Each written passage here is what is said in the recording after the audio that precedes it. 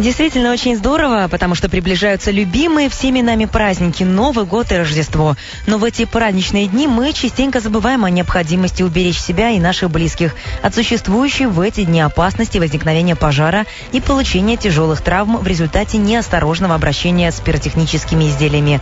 Чтобы предупредить подобные чрезвычайные ситуации, на протяжении месяца в рамках э, республиканской акции «Безопасный Новый год» в Минске будет огромное количество возможных акций акций.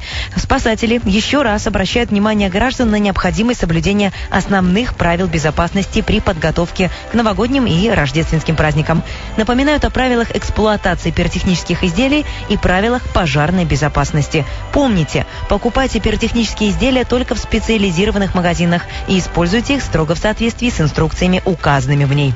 Прямо сейчас потрясающий подарок. Это автономный пожарный извещатель и огнетушитель сможет выиграть кто-то из наших слушателей слушателей. Подарки от редакции журналов «Юный спасатель» и «Служба спасения». Для этого, друзья, очень все просто. Нужно написать мне, как по-гречески будет огонь. Если с греческим у вас плохо, у меня есть подсказки. Огонь – это флокс, салют, пир или fire. Как же по-гречески будет огонь? Флокс, салют, пир или fire. Жду прямо сейчас от вас правильные ответы на наш короткий номер 104.6.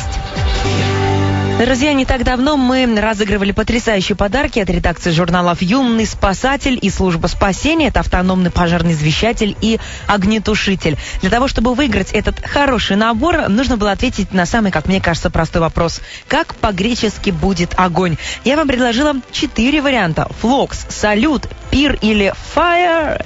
Друзья, ну, конечно, fire тоже прилетел такой ответ. Это, судя по всему, отголоски Scorpions, но на самом деле правильный ответ пир. По-гречески огонь будет пир. Бурные аплодисменты звучат нашему победителю абоненту, последние цифры которого 5389. Поздравляем вас, э, вся наша команда «Радио Бей».